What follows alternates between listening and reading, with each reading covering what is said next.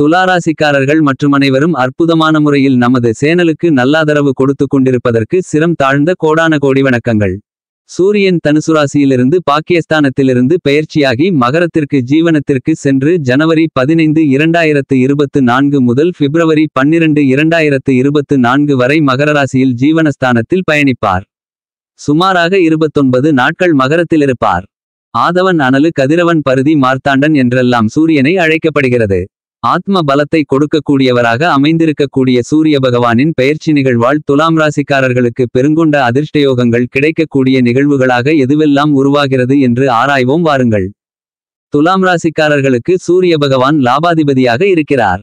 ராசிக்கு பதினொன்றாம் இடத்தின் அதிபதியாக இருக்கக்கூடிய சூரியன் உங்களுடைய ராசிக்கு அவ்வளவு சகாயமானவராக இல்லை என்றாலும் இந்த தருணத்தில் ராசிக்கு சுகம்ஸ்தானம் ஆகிய நான்காம் இடத்தில் அமரப்போகிறார் ராசியின் யோகாதிபதியாக இருக்கக்கூடிய சனியின் மற்றொரு ஆட்சி வீடான மகரம் ராசியில் அமரக்கூடிய சூரியனின் அமைப்பு காரணமாக சுப நிகழ்வுகள் மிகச்சிறப்பாக நடைபெறுவதற்கான வாய்ப்புகளும் யோகங்களும் நிறைந்து கிடைக்கப் போகிறது. சற்று அலைச்சல் அதிகரித்தாலும் ஆதாயம் உண்டு. கர்மஸ்தானம் ஜீவனஸ்தானம் தொழில்ஸ்தானத்தை சூரியன் பார்ப்பதால் தொழில் ரீதியாக அதிரடியான வளர்ச்சிகள் இந்த தருணத்தில் துலாம் ராசிக்காரர்களுக்கு நிறைந்து கிடைக்கப் போகிறது என்பதை சூரியன் தெளிவாக உறுதிப்படுத்துகிறார். ஒளியின் ஊற்றாக ஒளியின் பிறப்பிடமாக முதன்மை ஒளி பொருந்திய கிரகமாக தந்தை கிரகமாக உயிர்கிரகமாக இருக்கக்கூடிய கிரகம் சூரியன். சூரியன் தன்னுடைய வீட்டை அதாவது ராசியை மாற்றும்போதுதான் தமிழ் மாதம் பிறப்பதாக ஏற்றுக்கொள்ளப்படுகிறது. சூரியன் ஒன்பது கிரகங்களுக்கும் முதன்மை கிரகம். ஜோதிடத்தில் சூரியன் ஒன்பது கிரகங்களின் அரசனாக ராஜாவாக கருதப்படுகிறார். சூரியன் உங்களுடைய ஜனனகால ஜாதகத்தில் நல்ல நிலையில் இருந்தால்தான் உங்களுக்கு அந்தஸ்து செல்வாக்கு கௌரவம் பெயர் புகழ் செல்வம் கிடைக்கும். அரசு வேலையில் அரசியலில் ஜொலிக்கக்கூடிய அமைப்பு சூரியனால் மட்டும்தான் கொடுக்க முடியும். இந்த சூரியனின் ஒளி இல்லை என்றால் இந்த பூவுலகில் எந்த ஜீவராசிகளும் உயிர் வாழ முடியாது. அதே நேரத்தில் இந்த சூரிய ஒளி இருபத்து நான்கு மணி நேரமும் பூமியை அபரிவிதமாக தாக்கினால் எந்த உயிரினங்களும் வாழ முடியாது எல்லாம் எரிந்து பஸ்பமாகிவிடும். சூரிய பகவான் கெட்டிருந்தால் சுயமாக முடிவு எடுப்பதற்கு கூட உங்களுக்கு கடினமாக இருக்கும். சூரியன் ஆண் வாரிசுகளை தலைப்பிள்ளைகளாக கொடுக்க வல்லவர். சூரியன் பகவான் பலமாக இருந்தால் நோய் எதிர்ப்பு சக்தி வலிமையாகி உடல் ஆரோக்கியம் மேம்படும். இந்த சூரிய பெயர்ச்சி காலகட்டங்களில் எவையெல்லாம் அதிர்ஷ்டம் கொடுக்கக்கூடியதாக அமையப்போகிறது என்பதை ஆராய்ந்து பார்க்கின்றபோது சூரியன் தனது பகை வீடான சனி பகவானின் ஆட்சி வீடான மகரம் ராசியில் நுழைந்து பகை வீடாக இருந்தாலும் சனி சூரியனின் மைந்தனாக இருக்கிறார். எனவேதான் பருவநிலை மாறுவதற்கு ஏற்றவாறு குளிர்காலம் முடிந்து இதமான காலம் ஆரம்பிக்கக்கூடிய ஒரு தருணமாக இருக்கக்கூடிய இந்த தை மாதத்தில் சூரியன் தனது மைந்தனாக இருக்கக்கூடிய சனியின் ஆட்சி வீடான மகரம் ராசியில் அமரக்கூடிய காலகட்டத்தில் மிகப்பெரிய மாற்றத்தை ஏற்படுத்தி கொடுக்கப் போகிறார். இந்த சூரிய பகவானை வரவேற்கத்தான் பொங்கல் பண்டிகை என்று ஒன்றை கொண்டாடுகிறோம். ஏனென்றால் ஒன்பது கிரகங்களுக்கு முதலும் முடிவுமான மிக முக்கியமான கிரகமாக கருதப்படுகிறவர் சூரியன்தான். கிரகங்களின் தோற்றம் சூரியனிடமிருந்துதான் உருவானது. சூரியனிடமிருந்து உருவான சனிகிரகம் சூரியனுக்கு எதிராக செயல்பட வாய்ப்பில்லை. எனவேதான் தனக்கு மைந்தனாக இருக்கக்கூடிய சனியின் ஆட்சி வீடான மகரராசியில் அமரக்கூடிய இந்த தருணத்தில் பல்வேறு வகையான யோகங்களும் நன்மைகளும் அதிர்ஷ்டங்களும் நிறைந்து கொடுக்கக்கூடிய ஒரு தருணமாக அமையப்போகிறது என்பதை துல்லியமாக சூரியன் உறுதி செய்கிறார். இயற்கையாகவே பாவத்தன்மை அதிகமாக கொண்டவராக இருக்கக்கூடியவர் சூரியன். பத்தில் ஒரு பாவி இருந்தால் நல்லபல அதிர்ஷ்ட முன்னேற்றங்களை மட்டுமே உறுதியாக கொடுக்கும் என்று ஜோதிட சாஸ்திர மூலநூல் வலியுறுத்துகிறது.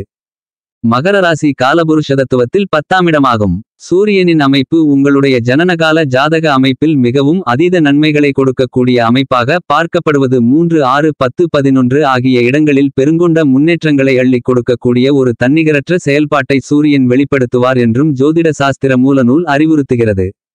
ஒன்பது கிரகங்களிலேயே அதிகாரமும் ஆளுமையும் கொண்ட கிரகமாக கருதக்கூடியவர் சூரியன் மட்டும்தான். சூரியன் மிகவும் வலிமையாக உங்களுடைய ஜனனகால ஜாதக அமைப்பில் இந்த மாதிரியான இடங்களில் சஞ்சரிக்கும்போது அனைத்திலும் முதன்மையானவர்களாக இருப்பீர்கள்.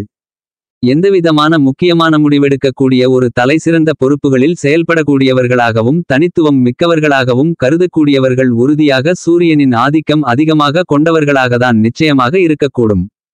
உங்களுக்கு மூன்று ஆறு பத்து பதினொன்று ஆகிய இடங்களில் சஞ்சரிக்கும்போது சூரியன் அபரிவிதமான வளர்ச்சிகளையும் முன்னேற்றங்களையும் அருமையான முறையில் மிகச்சிறப்பாக வாரி வழங்குவார். அதே சமயம் இரண்டு நான்கு ஐந்து ஏழு ஒன்பது ஆகிய இடங்களில் ஒரு நடுநிலையான முன்னேற்றங்களை ஏற்படுத்திக் கொடுப்பார். ஜென்மத்திலோ அஷ்டமத்திலோ சஞ்சரிக்கும்போது விழிப்புணர்வுடன் இருக்க வேண்டிய ஒரு தருணமாக அமைகிறது என்பதை சூரியன் தெளிவாக உறுதி செய்கிறார். சூரியன் மிகவலுவாக சஞ்சரிக்கும்போது மிக கடினமான சவால் நிறைந்த காரியங்களை கூட சிரமப்படாமல் நேர்த்தியாகவும் மிகச்சிறப்பாகவும் சரியான முறையில் செய்து முடித்து வெற்றி காணக்கூடிய யோகங்களும் வாய்ப்புகளும் நிச்சயமாக கொடுக்கிறார் என்பதை சூரியன் தெளிவாக உறுதி செய்கிறார். ஒரு காரியத்தை அலைச்சல் உளைச்சல் சிரமமில்லாமல் செய்து முடிக்க வேண்டுமென்றால் அதில் நிச்சயமாக சூரியனுடைய ஆதரவு ஆதிக்கம் மிக முக்கியமான ஒன்றாக கருதப்படுகிறது. எனவேதான் அரசாங்க காரியங்கள் அனைத்தும் அனுகூலமாக நடைபெற வேண்டுமென்றால் சூரியனின் அனுகிரகம் இருந்தால் மட்டும்தான் அது நடைபெறும். புதிதாக தொழில் ஆரம்பிப்பது தொழிற்சாலை ஆரம்பிப்பது போன்ற மேலும் பல காரியங்கள் செய்வதற்கு அரசு அனுமதி வாங்குவதாக இருந்தாலும் பல்வேறு விதமான வரிசலுகைகள் மானிய சலுகைகள் போன்றவற்றை எதிர்பார்ப்பதாக இருந்தாலும் அதிரடியான புதிய ஒப்பந்தம் மேற்கொள்வது புதிய ஆர்டர்கள் டெண்டர்கள் எடுப்பது போன்ற பணிகள் எந்த மாதிரியாக இருப்பினும் சூரியனுடைய அனுக்கிரகம் நிறைந்திருந்தால் மட்டும்தான் மிக சாத்தியமான சாதகமாக நடக்கக்கூடிய ஒன்றாக கருதப்படுகிறது. எனவே தான் சூரியனின் அமைப்பை மிக உன்னிப்பாக பார்க்க வேண்டும் என்பது மிக முக்கியமாக கருதப்படுகிறது. அதிலும் குறிப்பாக சூரிய ஓரையை சரியான முறையில் பயன்படுத்தினால் மிகச்சிறந்த முன்னேற்றங்களும் வளர்ச்சிகளும் உங்களுடைய வாழ்வில் மிகச்சிறப்பாக இனிதாக கிடைக்கும் என்பதை தெளிவாகவும் துல்லியமாகவும் சூரியன் உறுதி செய்கிறார். பல்வேறு விதமான யோகங்களையும் வாழ்வில் நிறைந்து கொடுக்கக்கூடிய ஒரு சிறப்பான கிரகமாக சூரியனை கருதப்படுகிறது. வாசியோகம் உள்ளிட்ட பல்வேறு வகையான அதிர்ஷ்டயோகங்களை நிறைந்து கொடுக்கக்கூடிய ஒரு வலிமையான கிரகமாக சூரியன் கருதப்படுகிறார். சூரியனுடைய நட்பு கிரகமாக இருக்கக்கூடிய சந்திரன் செவ்வாய் குரு போன்ற கிரகநிலைகளின் திசை புத்தி இந்த காலகட்டத்தில் நடைபெற்றால் கண்டிப்பாக மிகச்சிறந்த ஒரு முன்னேற்ற யோகங்கள் காத்திருக்கிறது. சூரிய திசை அல்லது சூரிய புத்தி அல்லது சூரியனின் நட்பு கிரகமாக இருக்கக்கூடிய குரு திசை புத்தி உள்ளிட்ட பல நன்மை தரக்கூடிய தசா புத்திகள் வலிமையாக இருந்தால் நிச்சயமாக மிகச்சிறந்த வளர்ச்சிகளும் முன்னேற்றங்களும் இந்த காலகட்டத்தில் கிடைப்பதற்கான வாய்ப்புகளும் உண்டு. அதேபோன்று அவருக்கு சமகிரகமாக இருக்கக்கூடிய புதன் புத்தியோ தசையோ நடைபெற்றாலும் நிச்சயமாக நல்ல பலன்கள் கிடைக்கும். அதிலும் குறிப்பாக புதனின் பார்வையில் சூரியன் நட்பு கிரகமாக கருதப்படுகிறார். அதே சமயம் சூரியனின் பார்வையில் பகை கிரகங்களாக இருக்கக்கூடிய சுக்கிரன் சனி ராகு கேது போன்ற கிரகநிலைகளின் புத்தியோ திசையோ நடைபெறும்போது சூரியனின் புத்தியோ திசையோ நடைபெற்றால் சற்று விழிப்புணர்வுடன் இருக்க வேண்டிய காலகட்டமாக அமைகிறது என்பதை தெளிவாக சூரியன் உறுதிப்படுத்துகிறார். அதே நேரம் இந்த தருணத்தில் மகர ராசியில் அமரக்கூடிய சூரியனின் அமைப்பு கொண்டாட வேண்டிய ஒரு சிறந்த தருணமாக உருவாகிறது. எனவே வாழ்வியல் இன்பங்களும் புத்துணர்ச்சிகளும் நிறைந்து கிடைப்பதற்கான வாய்ப்புகளையும் வழிகளையும் சூரியன் உருவாக்கிக் கொடுக்கிறார். ஆகவே பல்வேறு விதமான தடைகள் உடைத்தெறியப்பட்டு மகிழ்ச்சி ஆனந்தம் பெறுவதற்கான வாய்ப்புகள் நிச்சயமாக கிடைக்கிறது. இருந்தாலும் சற்று விழிப்புணர்வுடனும் சாதகமாக பயன்படுத்திக் கொள்ளக்கூடிய வாய்ப்பு எப்போது அமைகிறது என்று பார்த்து அறிந்து தெரிந்து கொண்டால் நிச்சயமாக நல்ல முன்னேற்றங்கள் ஏற்படுவதற்கான யோகங்களை சூரியன் உறுதிப்படுத்திக் கொடுக்கிறார். துலாம் ராசிக்காரர்களுக்கு இப்படி சூரியனின் அமைப்பு மிகச்சிறப்பாக இருக்கக்கூடிய இந்த தருணத்தில் உங்களுடைய ராசிக்கு அர்த்தாஷ்டமஸ்தானமாகிய நான்கில் அமர்ந்திருப்பதால் உடல் ரீதியாக சின்ன சின்ன தொந்தரவுகளை சந்திப்பதற்கான வாய்ப்பு உள்ளது என்பதை தெளிவாக எடுத்துக்காட்டுகிறார். எனவே உணவு பழக்கவழக்கங்களில் அதீத கவனம் தேவை.